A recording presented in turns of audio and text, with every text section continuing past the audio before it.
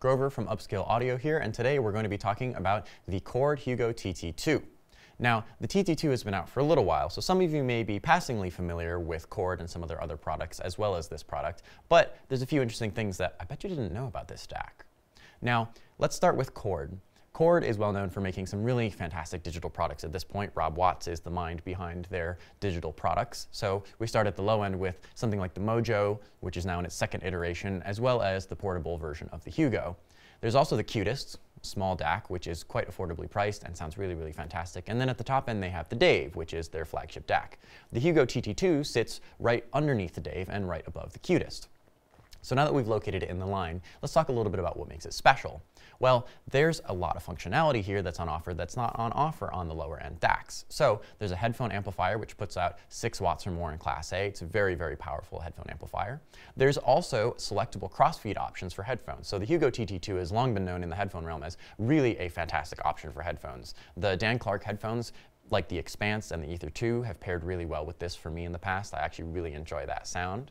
Um, and it will even power some of the harder to drive HiFiMAN headphones really well um, something that's kind of interesting about Rob Watt's conception of digital is that he uses a really high number of filter taps. So he's got a custom programmed Xilinx uh, FPGA chip in all of the Chord DACs. This one particularly uses, um, I believe, an Artix 7. Now, what's interesting about that, other than the fact that it is a custom programmed FPGA, is that it allows for the use of a different kind of filter that runs at a much higher sampling rate, 768 kilohertz in this case, and it also allows for the use of many, many filter taps. So whereas a typical DAC might use a few thousand filter taps or perhaps 10,000 filter taps. The Hugo TT2 uses 98,304 filter taps, and you can stack it on top of the accompanying M scaler, which uses over a million filter taps. And that actually does, to me, offer quite a bit of sound improvement. It does add some latency for those who are using this for, you know, gaming applications or things like that. Personally, I think this is a little bit of a higher end device than that. But it's very interesting topology. You should read more about it on the Chord website, which you can find linked from upscaleaudio.com's page on the Hugo TT2. Now, the interesting thing about what all those filter taps and that really long linear phase filter and all that cool FPGA programming adds up to is that you have functionality and also great sound quality. There's a certain richness and depth to imaging from Chord DACs that you know, it's very hard to find on other DACs. They have a certain smoothness and they have a certain finesse to them that I actually really appreciate on both headphones and speakers. Now, this is something that will change, as I said, a little bit with the M scaler. The M scaler takes that to a certain higher level of refinement. But I have to say, for the price point and underneath the Dave, you'd be hard pressed to find many DACs that compete really, really well with the Hugo TT2.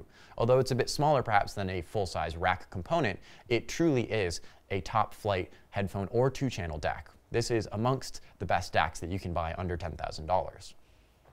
Another thing that's interesting about this DAC is that it offers you some flexible options. There are a couple different options with regards to the filters in this. So you can change the filters, and it will change to my ears a little bit of how the high end responds to transients. So if you like a softer sound, you like a little bit of a brighter, sharper, more dynamic sound, the filters will allow you to change that. Let's talk a little bit about inputs and outputs. Obviously, we've got those headphone outputs on the front. So that's going to offer USB, that's going to offer BNC to connect it to the M scaler, and it's going to offer also some XLR and some RCA outputs. So lots of connectivity and lots of functionality here. When it comes to using the unit, I find the industrial design is kind of fanciful. This little dial here on the bottom is the volume knob and also clicks in for some of the controls. And it's kind of a fun touch. Most of the Chord DACs have the little sort of jelly bean on the front. I think it adds to sort of the visual appeal of the unit, though you can also get these in black, which is quite a sleek color as well. Um, and on a desktop, it really does look quite nice. It's kind of got a classy, you know, people ask, what is that unit? It's kind of cool.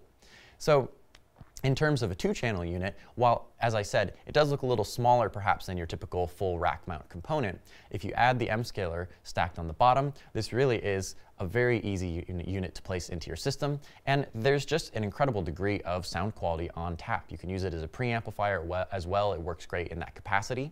Um, and in a pinch, I know some people have connected it to speakers. I don't recommend doing that. However, the headphone and preamp, out, preamp outputs really are quite powerful in this. Hugo TT2. The DAC is incredibly high tech. Rob Watts has been doing fantastic digital for a long time. And if you're interested in learning more about the specific technical details of exactly how the DAC stage works, you should check out some of the Chord website links. They've got some fantastic interviews with Rob, and he talks at length about the topology of the DAC, his thoughts behind it, what kind of music he likes to listen to. And it's really, really well done, and there's some fantastic information out there. I definitely encourage you to go check those out. If you want to know more about the hard functionality of the unit, or you want to get a little bit more info from us about it, check out upscaleaudio.com's page on the Hugo TT2, and I will see you next time.